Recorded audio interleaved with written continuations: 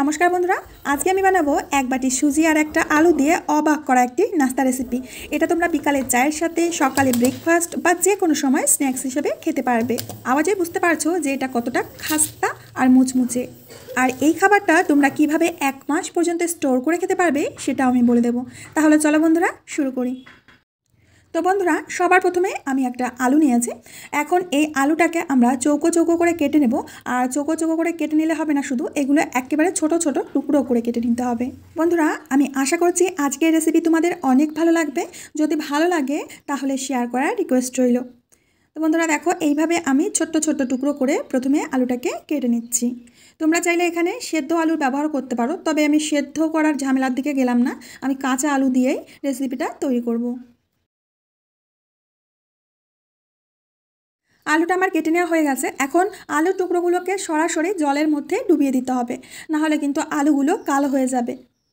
বন্ধুরা, এখন নিয়েছি একটা গাজর। গাজরটাকেও আমি একেবারে ছোট ছোট, চৌকো চৌকো টুকরো করে কেটে নেব।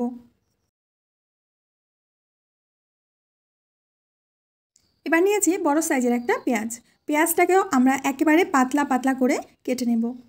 মানে হলো কি, সমস্ত সবজিগুলো আমরা একই রকমভাবে কেটে নেব। পেঁয়াজটাও আমি কেটে নিয়েছি। এখন একটা প্লেটের মধ্যে আমি তুলে রাখছি। এবার আমি কয়েকটা কাঁচা লঙ্কা নিয়েছি। কাঁচা লঙ্কাগুলোকে এইভাবে একদম পাতলা পাতলা করে কুচিয়ে নিতে হবে। বন্ধুরা, আজকের রেসিপিটা এতটাই মজার যে তোমরা একবার দেখলেই তোমাদের বানাতে ইচ্ছা করবে। তো সমস্ত সবজিগুলো আমি কেটে নিয়েছি দেখো। এবার আমরা জল থেকে আলুর টুকরোগুলো তুলে নেব।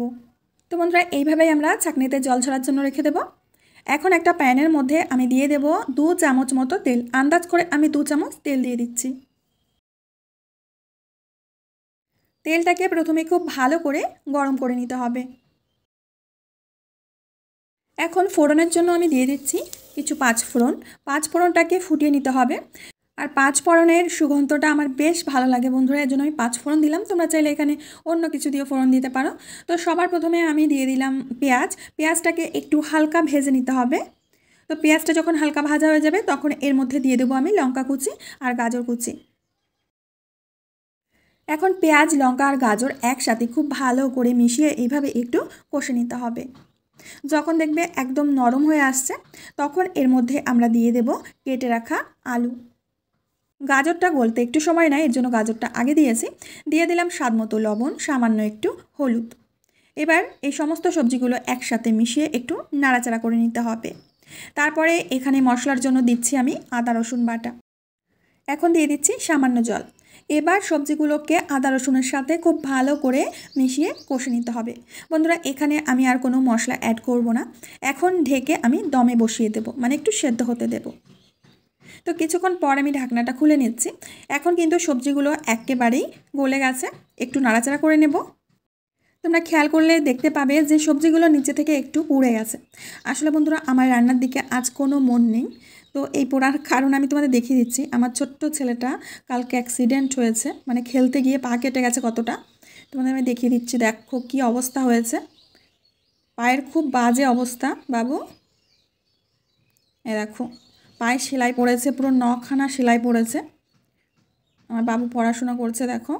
এর জন্য আমার আজকে রান্নায় কোনো মন নেই রেসিপিতে কোনো মন নেই, একদম ইচ্ছা করছিল না রেসিপিটা করতে। দেখো কি অবস্থা হয়েছে পায়ের। ডাক্তার বলেছে মোটামুটি পনেরো দিনের মধ্যে ঠিক হয়ে যাবে। তো বন্ধুরা, এখন সেই প্যানের মধ্যে আমি দিয়ে দিচ্ছি জল। এখানে আমি প্রথমে এক বাটি জল দিচ্ছি, আর দিয়ে দিচ্ছি স্বাদ মতো লবণ আর এক চামচ মতো তেল। আরও একটু জল দিয়ে দিলাম, মোটামুটি দেড় বাটি মতো আমি জল দিয়েছি। প্রথমে জলটাকে খুব ভালো করে গরম করে নিতে হবে আর একটু ফুটিয়ে নিতে হবে।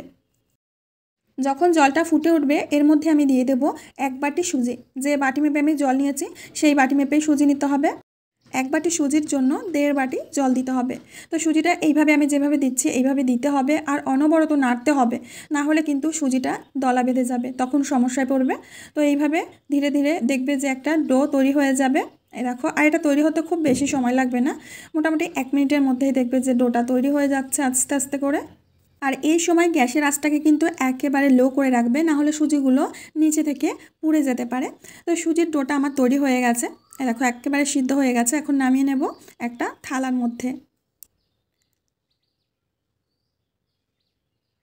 তো বন্ধুরা, গরম অবস্থায় কিন্তু সুজিটাকে মেখে নিতে হবে। একেবারে যদি ঠান্ডা করে ফেলো, তখন কিন্তু সুজিটা মাখলেও সফট হবে না।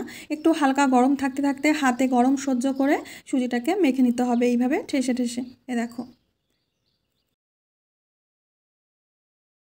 আর তোমরা দেখতেই পাচ্ছ বন্ধুরা, সুজির ডোটা আমার একেবারে রেডি হয়ে গেছে। এখন এখান থেকে আমি অল্প অল্প করে লেচি কেটে নেব। আমরা পুলি পিঠে তৈরি করি যেভাবে, ঠিক সেইভাবে আমরা প্রথমে এইভাবে গোল পাকিয়ে নেব। তারপরে মাঝখানে চাপ দিয়ে দিয়ে একটা ছোট্ট বাটির মতো তৈরি করে নিতে হবে, ঠিক এইভাবে। দেখো বন্ধুরা বাটিটা খুব বড় করবে না। সুজির যে বাটিটা তৈরি হবে সেটা একটু মোটা হবে। না হলে আমরা যখন এই খাবারটা তেলে ভাজবো তখন কিন্তু ফেটে যাওয়ার সম্ভাবনা থাকবে। এর জন্য পুরটা একটু কমিয়ে দিয়ে বাটিটা একটু মোটা রাখবে। আর আমরা এই নাস্তার উপরে যে ডিজাইনটা করব সেটা করতে গেলে আমাদের এই বাটিটা একটু মোটাই রাখতে হবে। খুব ভালো করে আবার গোল পাকিয়ে নিচ্ছি। এবার বন্ধুরা ডিজাইন করার জন্য আমি একটা শোন নিয়েছি এই দেখো। আর এই শোনটা দিয়ে আমি সব সময় খাবার ডিজাইন করে থাকি, এটা দিয়ে আর অন্য কোনো কাজ হয় না। তো শোনটা দিয়ে এইভাবে চেপে চেপে দেখো, লম্বা লম্বিভাবে ডিজাইন করে দিচ্ছি। ডিজাইনটা খুবই সহজ, তোমরা একবার দেখলেই তৈরি করতে পারবে। এ দেখো। ডিজাইনটা যতক্ষণ হচ্ছে, ততক্ষণ আমি একটা কথা বলে দিই। প্রত্যেক দিনের মতো আজকে যদি আমার ভিডিও দেখতে কোনো নতুন বন্ধু এসে থাকো, অবশ্যই আমার চ্যানেলটিকে সাবস্ক্রাইব করবে। পাশে থাকা বেল বাটনের অল অপশনে ক্লিক করবে, যাতে ভিডিও আপলোড হয় মাত্র সবার প্রথমে তোমার সামনে পৌঁছে যায়। আমার যে বন্ধুরা ফেসবুক থেকে ভিডিওটা দেখছ, তারা অবশ্যই আমার পেজটিকে ফলো করবে। আর এরকম মজার মজার নাস্তা রেসিপি প্রচুর দেওয়া আছে আমার চ্যানেলে। যদি না দেখে থাকো, দেখে নিও। তোমাদের প্রত্যেকটা রেসিপি ভীষণ ভালো লাগবে। তো দেখো, খুব সুন্দর করে আমি এই ডিজাইন দিয়ে নাস্তাগুলো তৈরি করে নিয়েছি। দেখতে কিন্তু খুবই সুন্দর লাগছে। আর এইভাবে নাস্তা তৈরি করে তোমরা ফ্রিজের মধ্যে রাখতে পারবে প্রায় পনেরো দিন। যখন মন চায় তখনই বের করে ভেজে খেতে পারবে। আগে থেকেই একটা ফ্রাই প্যানে আমি তেল গরম হতে দিয়েছি। আর তেলটাকে প্রথম অবস্থায় কিন্তু খুব গরম করে নিতে হবে। তবে ধোয়া ওরা গরম না। এই গরম তেলের মধ্যে একটা একটা করে নাস্তা ছেড়ে দিচ্ছি। আর গ্যাসটা কিন্তু এই সময় কমাতে যাবে না। হাই ফ্লেমেই কিন্তু এইগুলো ভেজে নিতে হবে।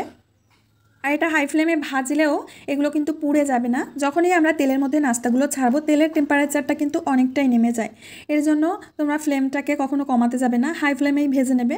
আর দেখো, চামচ দিয়ে অল্প অল্প করে তেল আমি ওপর থেকে দিয়ে দিচ্ছি, যাতে ওপরটাও ক্রিস্পি হয়ে যায়।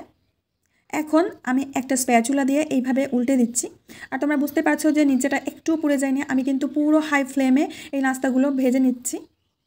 আর এগুলো ভাজা হতে প্রায় পাঁচ মিনিট সময় লাগবে, পাঁচ মিনিটের ওপরে সময় লাগবে না। তো ধীরে ধীরে উল্টে পাল্টে আমি এইগুলোকে ভেজে নিচ্ছি। আর দেখতে কতটা সুন্দর লাগছে দেখো। এখন খুব সুন্দর একটা কালার চলে এসেছে, আর মুচমুচে করে ভাজা হয়ে গেছে।